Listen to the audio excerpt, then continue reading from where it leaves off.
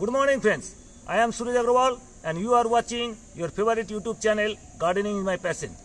Today, friends, I am going to show you about a, a dangerous disease of Zinnia. Zinnia elegans are the beautiful plants. This grows in summer times and as well as in the winter season. These are the beautiful extravagant flowering flowers from the Zinnia elegans and the height is from ranges from 6 inches to up to 3, uh, 3 feet tall and beautiful plants, beautiful extravagant flower, all every color except blue color you can get every color of flowers, all the dahlia or pom-pom type of varieties flowers here, big flowers of zinnia. So the most dangerous disease of the zinnia is the virus affected leaf curl disease. So most of the uh, sometimes up to 70% of the zinnia plants are affected by the these are the leaf curl disease. I am showing you these, are, these are the disease affected leaf curl upward curling of the leaves. These are the all the upward curlings of the leaves and uh, dangerous disease and this shortens the leaves. Leaf size becomes shortened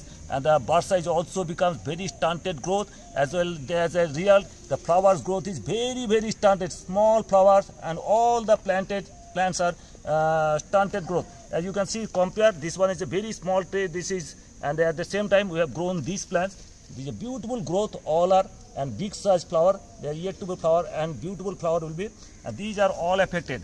And these are mostly affected by the white flies and thrips. These are the white flies and thrips are the tiny white sucking type of insects. They suck the sap from there and they introduce some of the Begomovirus inside and from the virus all the leaf curl diseases are done. So what you have to do you have to control from the initial stage when the uh, plant saplings are around 3 to 4 inches tall. You have to spray appropriate chemical insecticide or organic chemical insecticide or anything. You have to prevent the control of prevent the uh, growth of this all these insects and uh, you can check the growth of this. Just have and uh, i have here along with me two of the scientists from the Liebig agrochemicals are visiting in my institute for identifying all these leaf curl disease Ganesh Hazra and Deepak Kumar Sardar. Deepak Kumar Sardar and Ganesh Hazra, two scientists from the Liebig agrochemicals, they have visited here and they identified that all these are affected by the thrips and from the white flies.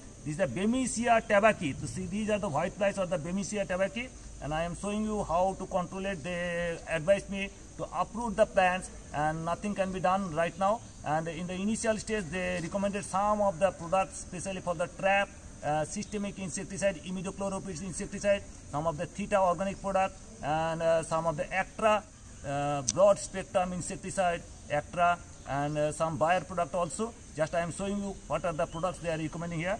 So some of the all our plants also affected uh, some uh, other seasonal flower plants also affected with white flies and I am showing you the video just have a look and I will come back again just have a look so friends these are the all hollyhock plants we have planted and you can see these are all the upward curling of the leaves here and these are all and here you can see lots of white fly insects.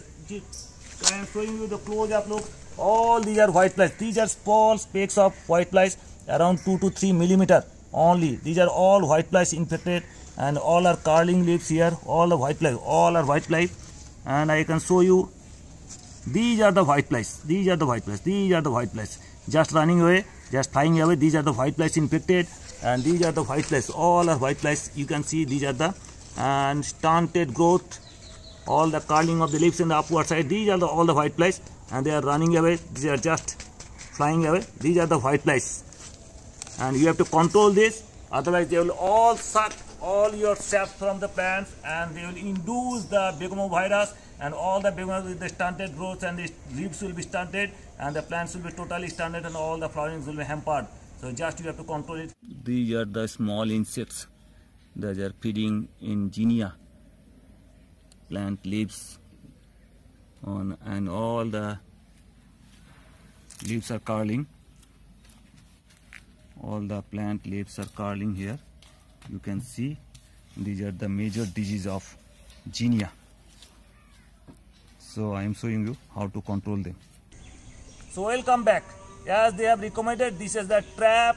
These are some chemical uh, insecticide and they are recommending around 2 ml per liter 2 milliliter per liter trap. This controls all your white flies and uh, thrips it's a beautiful product from Liebig Agrochemicals you can you can use it. And uh, again if you want you can use the Bayer product confidor this is 0.5 ml per liter 0.5 ml per liter confidor this is also beautiful chemical broad spectrum some insecticide and this is some organic product. If you want to use bioproduct these are the for control of uh, thrips mite scales. These are the theta. Theta is also bioproduct. You can use 1 ml per liter. So this is excellent product.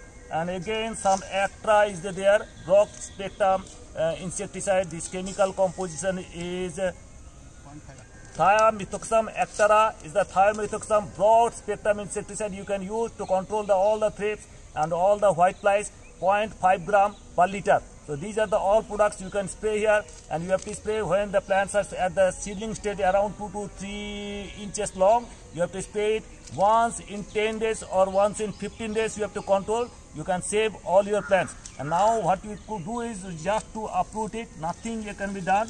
You have to uproot the plants. So friends we are using uh, 2 ml of trap. So these are the 2 ml of drop I am using here.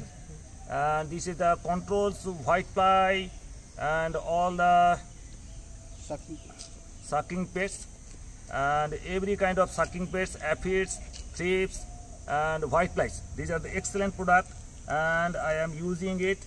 I again reiterate you that you have to use at the seedling stage and don't use it in adult stage when the, all the infected they cannot be cured once the white flies are affected and all the begomovirus are infected plants, you cannot cure them. You have to only you have to do is to uproot them and you have to use it as a preventive measure.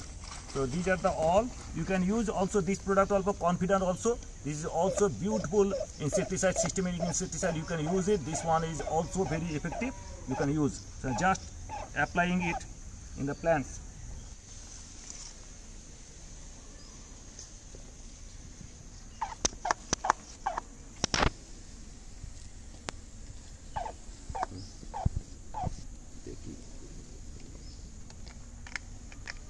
এটা pump pump দিতে হবে বেশি করে ঠিক আছে ওটি So friends, what else you can do is to that those are very much infected. You have to uproot this plant. You cannot leave it. You have to uproot the plants.